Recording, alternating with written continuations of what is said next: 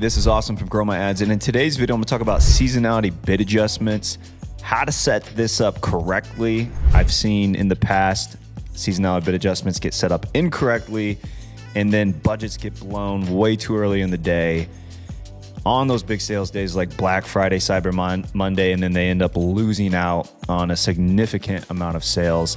Google's definition is pretty simple, and really the mechanics of this are way too simple.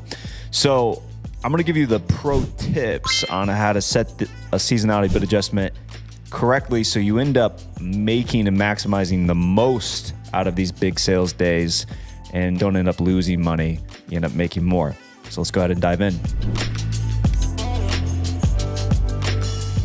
All right, let's start with Google's definition real quick. Basically, they're saying, you know, seasonality adjustments are an advanced tool that can uh, inform smart bidding of expected conversion rate changes. Do not use this for long periods of time. They say events should be within a one to seven day period. May not work as well for longer periods of time. We only use seasonality adjustments for like the biggest sales events. So that's going to be Black Friday, that's going to be Cyber Monday. And if you work with a company that, or you are a company that may do like Valentine's Day sales, like flower companies, use it then but we're talking like huge spikes in your in your data, right? Of of conversions and conversion rate. You're gonna know that in your business. Only use it for that. If, if it's just like a really like small 10% off deal or sale, don't even play around with it. Doesn't mean anything. So it's got to be, in my opinion, huge days, huge sales events like Black Friday, Cyber Monday. This is when you really want to dive into actually uh, setting this up. So, how it works this is what I disagree with, and this is what I'm going to show you how to set correctly and how to avoid in, inside of an actual account. But let's just start with the definition real quick. So they're saying when you create a seasonality adjustment, you're scheduling a conversion rate adjustment, increase or decrease, right?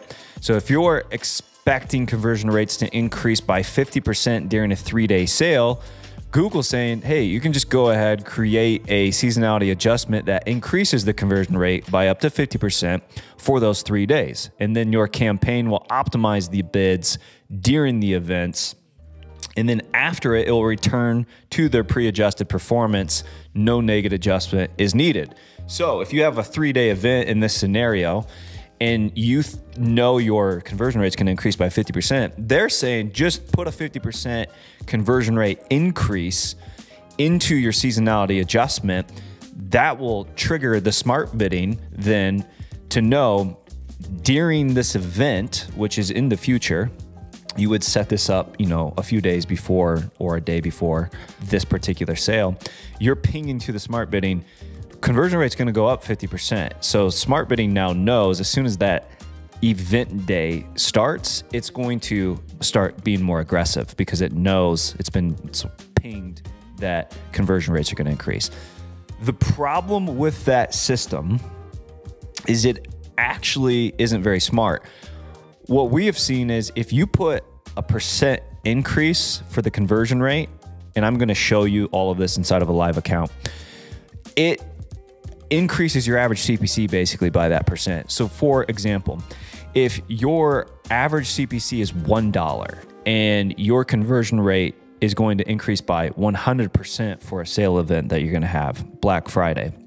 So you go in and you put a 100% conversion rate increase is into your seasonality bid adjustment for that Black Friday sale event. What you'll actually end up finding is your average CPC goes from $1 to $2. And so the system itself isn't really smart. It just seems to whatever percent you give it, it just jacks up your average CPC by that amount. Now, you do want that. You want to be more aggressive. However, you don't want to just blindly or basically throw in a conversion rate number from what I've seen. So I'm going to show you inside of Real Account how I would look at the data, especially for Black Friday, and then how I would actually use that data to formulate the percent that I'm going to put in for the conversion rate increase. So let's go ahead and uh, dive in. Okay, so I'm inside of an account. To get to the seasonality bid adjustments, first you go tools and settings, and then you're going to go shared library. You're going to go to bid strategies. Then once you're inside of bid strategies, you're going to go to advanced controls.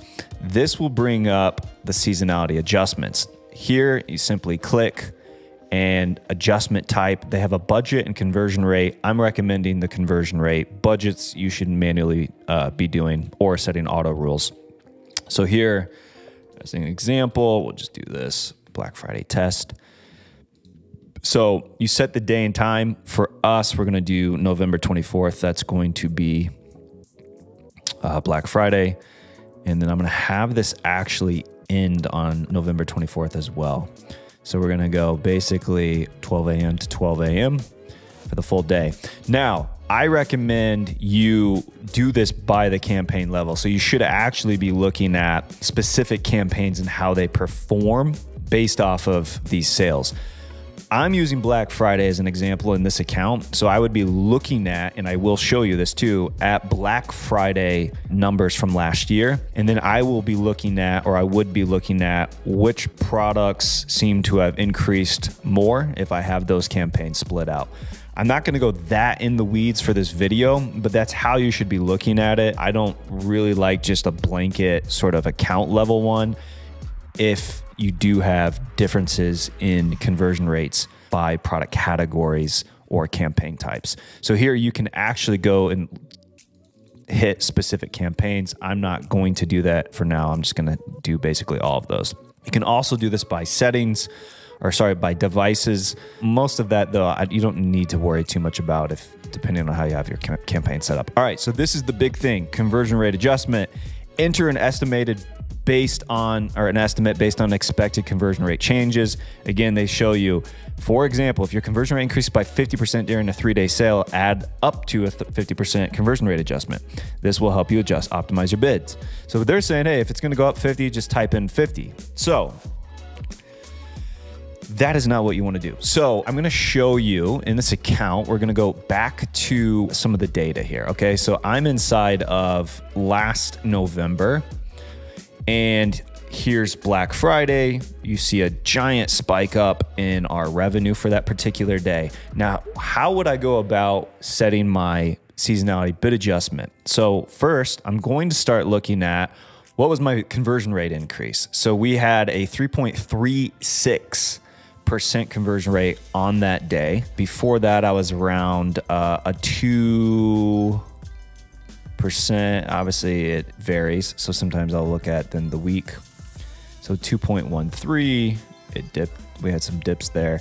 I would say probably anywhere from, uh, let's go daily again. So here we were at 2.28 the day before. We were at 2.20 and then 2222. So these days before, I would be kind of using some form of an average here. And so I would be looking at, let's just do 2. Yeah, 2.2 is a good number to use. So we went from 2.20, yeah, 2.20 to a 3.36. So we'll calculate that. So I had about a 52% increase in my conversion rate.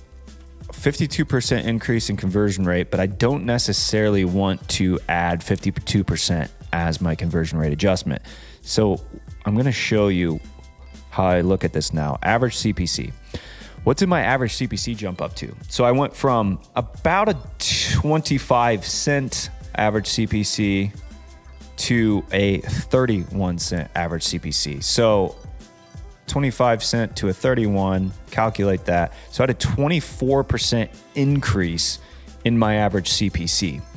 Then I also want to look at impression share, normally by uh, top percent. Now, in this account, we, you know, we do very well on this. We, we do kind of dominate this particular industry. So you don't see a massive jump here. But in other accounts, I also look at what's my impression share at the top percent for those big sales days before and after. So, you know, on the day, what, what was I at and what was my average before then? Why do I do that? So I just showed you my average conversion rate jumped 50%, but my average CPC back then only jumped 24%. And I didn't really lose out on impression share. So if I went in and simply went back to the bid adjustment in this case, so let's go back into setting that up. And we go conversion rate. If I set this to 50%, because that's what my conversion rate jumped to, I actually would end up now paying more than what I did last year when I don't need to. So in this particular case, I'm actually going to lean more conservative, especially because I had the, the impression share that was very high as well. So instead of doing a 50%, in this case, I probably will just do a 30% because that's what more than likely is going to jump my average CPC. So last year it jumped by 25% and we still had that large increase. So I'm going to be a little tad more aggressive than that and do about a 30%. So when you're setting these, don't blindly just go based off of the conversion rate increase. You should also be looking at what was my impression share in the top spots then, because if you are too conservative then, and if you look at the da data and you are actually lower on your impression share on that in those top spots, then you're going to be too conservative when you could have actually spent more on an increase in your average CPC if your ROAS increase was high too. So that's the other thing that you should be looking at is return on ad spend. So here, um, again, we actually didn't see a, a huge jump. We went to uh, 15.36, so 1500%. We were down, but there, you look at their account, they average about a thousand percent. So we jumped up a little bit there you know, let's say my ROAS doubled that day and my impression share in the top percent was lower than what it was. Uh, again, I, I, had about a 94% impression share there from a 25% increase in average CPC. So I would be looking at those numbers. And in that case, let's say my impression share in the top, my top impression share was lower, then in that case, I know, hey, my ROAS increases pretty significantly. So I actually can afford this year to spend a little more than 25%. So maybe in those cases, I would increase closer to a 50%. But these are the numbers you should be looking at because what happens is if someone came in here and blindly threw in a 100% impression share conversion rate increase, all that's going to do is literally double up your bids, right? And then if you're capped by budget, uh, if you're not running essentially an unlimited budget on Black Friday for your campaigns, I have seen then Google's bidding algorithm get way too aggressive way too early and it blows most of it by 11 a.m. You do not want that. So you have to be looking at these numbers and formulating a conversion rate increase percent that makes sense based off of the numbers you're seeing in the previous sales events like Black Friday and Cyber Monday. I hope that makes sense. If you have questions, put them in the comment section. We'll gladly answer. This is how we look at seasonality bid adjustments. We don't just go in and blindly throw in the percent increase because that can impact you negatively. So we want to look at it a little more in the weeds of the data to formulate a good number for us. Hope that helps. I'll see you guys on the next video. Thanks.